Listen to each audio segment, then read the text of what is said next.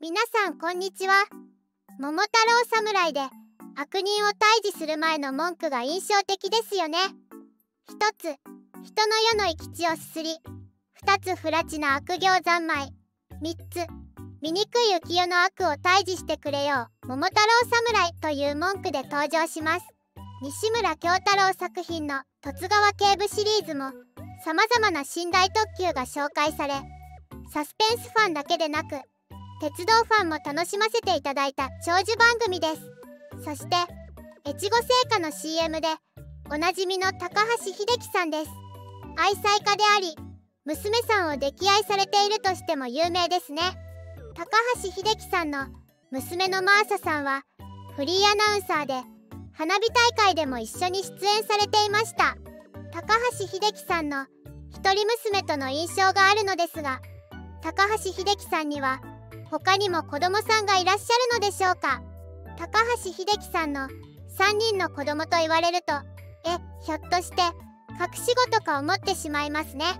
今回は高橋秀樹さんの子供さんについてと高橋秀樹さんが子供さんに注がれた愛情の深さを感じるエピソードについてお伝えします。高橋秀樹さんは1944年2月10日の生まれで千葉県木更津市の出身です。高橋秀樹さんは4人兄弟の末っ子でした。高橋秀樹さんの父親は高校の教師をされていて厳格な方だったようです。高橋秀樹さんが俳優になりたいと言うと反対されたようですね。高校の教師で厳格な方であれば俳優など芸能人に対しては親としては不安な気持ちが強いですよね。安定した職業に就いてほしいという思いは当然あると思います。高橋英樹さんは高校時代に日活ニューフェイスの第5期として日活から映画デビューします。1961年から芸能活動をされています。高橋秀樹さんは時代劇俳優としての印象が強いですね。NHK の大河ドラマによく出演され「龍馬が行く」や「飛ぶが如く」織田信長役も演じられています。そして「桃太郎侍」でのあの決め台詞ですよね。遠山の金さんも演じられています。最近では2時間ドラマの土曜ワイド劇場の十津川警部シリーズで十津川警部といえば高橋秀樹さんが浮かんできます。クイズ番組やバラエティ番組など幅広く出演されている印象があります。高橋秀樹さんは娘のマーサさんとテレビに一緒に出演されていますが他にも子供さんがいるのでしょうか？高橋秀樹の子供さんが誘拐されたという噂もあって子供さんは何人いるのか紹介していきます。高橋秀樹さんの子供さんは高橋真麻さんお一人のようです。テレビで見たことがある方は多いと思います。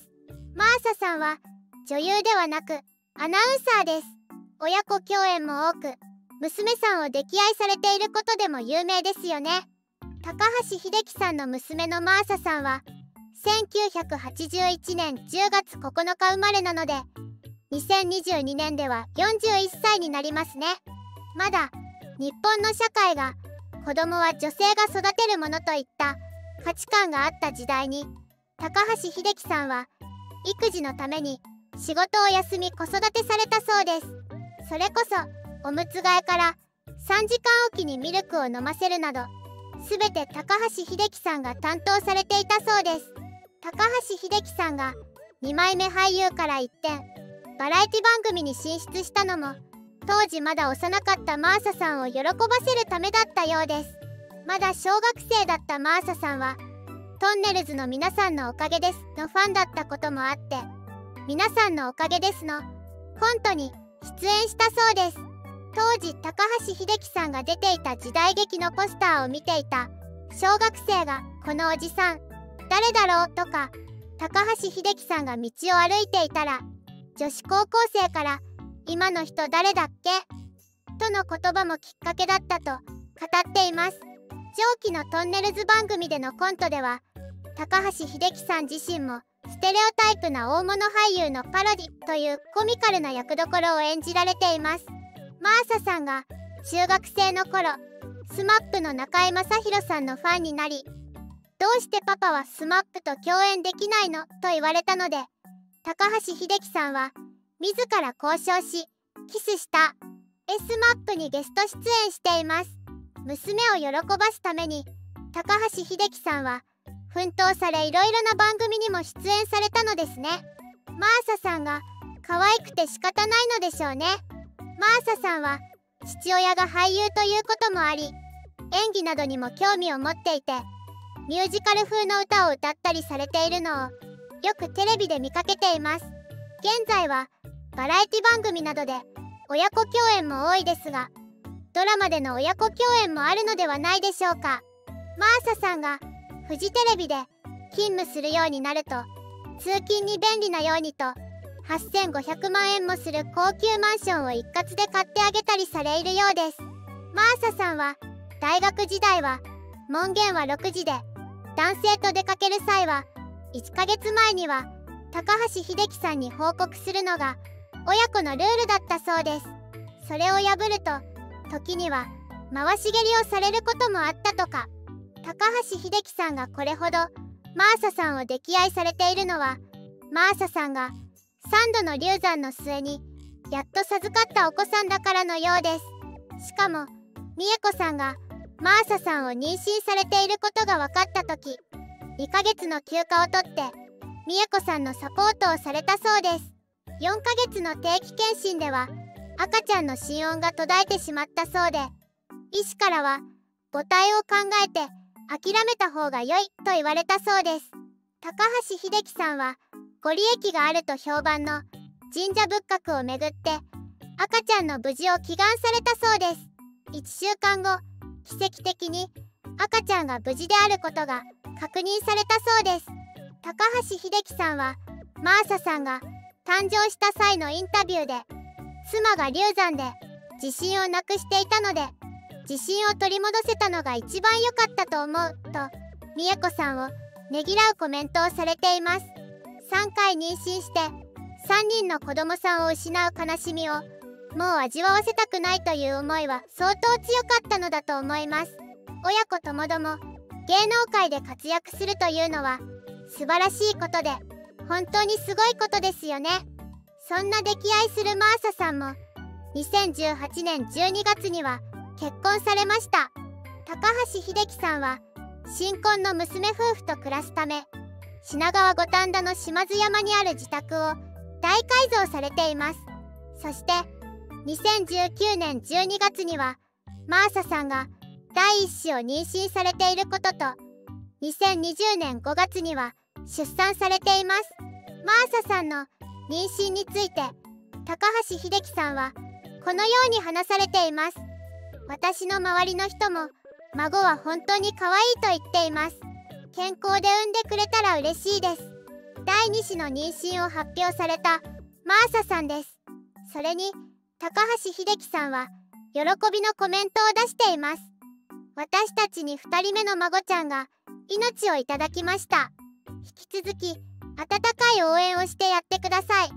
マーサさんは2020年3月8日ご主人と共に両親である高橋秀樹さんと美恵子さんの46周年目の結婚記念日を祝福されたそうです。2022年では結婚48周年になりますね。喧嘩したのは2回だけのようです。高橋秀樹さんの子供が誘拐されたという噂がありました。調べてみたところ高橋秀樹さんの子供さんが誘拐されたのではなく高橋秀樹さんが出演していた「真昼の誘拐」という映画が関係していました。映画のタイトルが「真昼の誘拐」ということでマーサさんと勘違いする人がいたそうです。高橋秀樹さんの妻はどのような方なのでしょうか。娘のマーサさんも素敵なので奥様のきっと素敵な方なのでしょうね。高橋秀樹さんの奥様は高橋美恵子さんという方で元女優の小林明子さんです。宝塚を見学されていた時に東宝の関係者からスカウトされて芸能界入りしています。女優さんをされていた時には小林明子さんという芸名で活躍されていました。宝塚を見学されていた時にスカウトされたので宝塚出身ということになったのもしれませんね。高橋英樹さんと小林明子さんとの馴れ初めは1971年の時代劇オランダ左近事件帳での共演が知り合ったきっかけでした。高橋英樹さんは若い頃は遊び人で有名でしたが高橋英樹さんの一目惚れだったようです。初対面で結婚の文字が浮かんだという高橋英樹さんでした。高橋英樹さんは小林さん一筋で猛アタックされ1974年3月15日に結婚に至ったようです。結婚後は芸能界からは引退されて家庭に入り家庭を守られているようです。芸名の小林明子さんから高橋美恵子さんになりました。高橋美恵子さんで統一いたしますね。高橋さんの奥様は病気なのではとの噂がありました。2018年の夏に熱中症になってしまったようで脱水症状が重く入院することになりました。しかし1週間ほどで回復されたようです。高橋英樹さんは若い頃借金地獄だったという噂があります。若い頃1億円近く借金があったそうでアルバイトや俳優の仕事を必死にして返したそうです。高橋英樹さんは自身は下戸でお酒は飲めなくカルピスを飲まれていたようです。しかし後輩たちを銀座のクラブに連れて行き全て高橋英樹さんのおごりだったようでその時の借金だったようです。結婚した際にもまだ借金がある状態だったそうです。奥様の両親は借金も財産と言ってくれたとか高橋英樹さんの芸能界で成功することを信じてくださっていたのでしょう。美恵子さんは3回妊娠されましたが3度とも流産でした。3回の流産がなければ高橋英樹さんとの間には3人の子供さんがいたはずなのです。マーサさんも流産の危機を乗り越え誕生したのでした。そのこともあり高橋英樹さんは育児にも一生懸命参加され美恵子さんのサポートをされていたのでしょう。妊娠中も神社にお参りするなどして必死にお腹の我が子を守られていました。もう決して失いたくない命だと必死な思いだったのでしょう。高橋英樹さんは3人の子供の分までマーサさんを溺愛して育てられていたようです。そしてマーサさんは第2子の妊娠を公表されて11月末の出産予定のようです。マーサさんは第1子の時もマタニティファトを取られたそうで今回もまた友人に取ってもらったようです。また高橋英樹さんの楽しみが増えそうですね。2019年の結婚45周年には趣味は家族と公言されいい夫婦パートナー・オブ・ザ・イヤー2019に選ばれるほどのおしどり夫婦です。高橋英樹さんは妻美恵子さんとは2回喧嘩しただけだそうです。その2回の喧嘩の原因は障子に大きな穴を開けてしまったことと子供さんの教育方針をめぐってだったそうです。高橋英樹さんはブログをされていて奥様ともよくデートされているようでデートの写真がたくさん載っているようです。高橋英樹さんは少し怖いイメージもありますが娘さんも奥様も溺愛する素敵な方ということが分かりました。高橋英樹さんはブログを更新され妻との結婚披露宴の思いで写真を公開されています。ファンの方からは美男美女すぎます。めちゃくちゃ素敵です。など48年前の夫婦のショットに大きな反響が寄せられています。当時30歳だった高橋英樹さんは現在の優しい顔つきとは違って凛々しい雰囲気で黒のタキシード姿は男前の一言。当時25歳だった恵美子さんはドレスに身を包んでおり思わず見とれてしまうような美しさが印象的です。これぞ美男美女。若い頃からかっこいい高橋英樹さんですが妻の美恵子さんも可愛いと言われ娘のマーサさんとも仲が良くお孫さんも2人となり家族円満ですね。そしてマーサさんの結婚を機に高橋マーサさんは芸能事務所グレープカンパニーに移籍しました。このことはマーサさんの結婚を機に